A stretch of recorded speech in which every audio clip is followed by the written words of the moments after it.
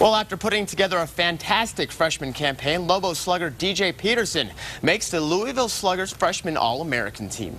Peterson led the Lobos in the majority of offensive statistics this year, including a batting average of 317 and a slugging percentage of 545. He also tallied 48 RBIs this year as well. Peterson is the Lobos' first freshman to be named to the freshman All-American team since Rafael Neda did it back in 2008.